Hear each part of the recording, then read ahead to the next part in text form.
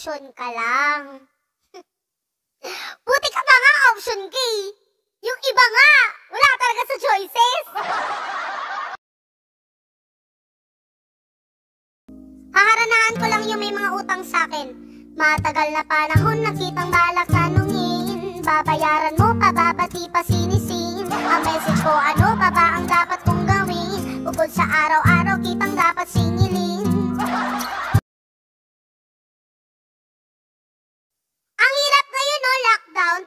kasama yung jowa mo?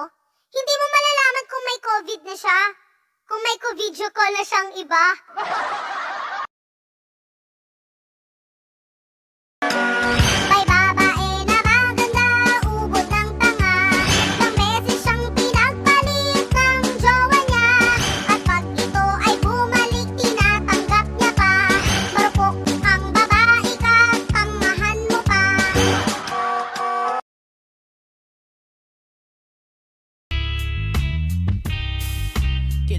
ko daw mag-diet dahil tumataba. Sa susunod na lang, sa susunod na lang.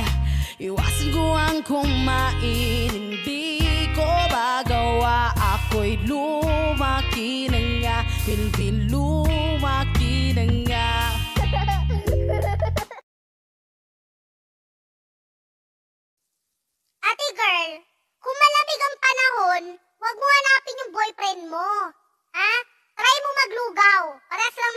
yun.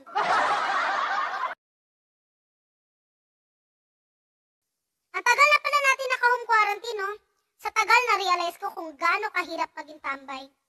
Kaya sa mga tambay dyan, pasensya na po kung na-judge po namin kayo. Ang hirap po pala ng sitwasyon nyo.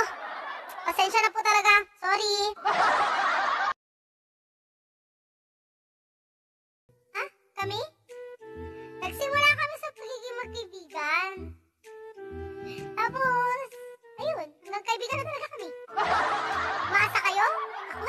我